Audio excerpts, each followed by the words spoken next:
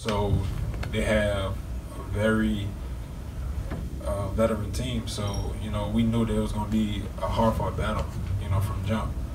I think the biggest lead of the game was what seven, maybe eight, and it, felt like that. You know we always knew it was a maybe two three possession game, and we worked on that in practice a lot. So I mean Neil hit two tough shots timely. Hervey hit, hit a tough shot with four seconds on the clock uh, on the inbound, and I mean they stepped up, and it was big. You know I felt like we contained them to a good point, but they just hit timely shots, and I mean the X factor was Kevin Wilson. I mean, you just gotta give credit where credit's due. Justin, any thoughts on uh, UTA responding every time you tied it up or got within one? Um,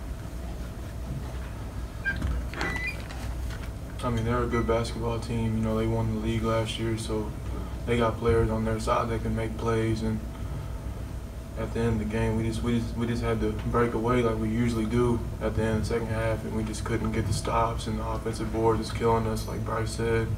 Wilson had eight boards. You know, he did what he had to do for them to win, and you just have to give credit to him for for getting us.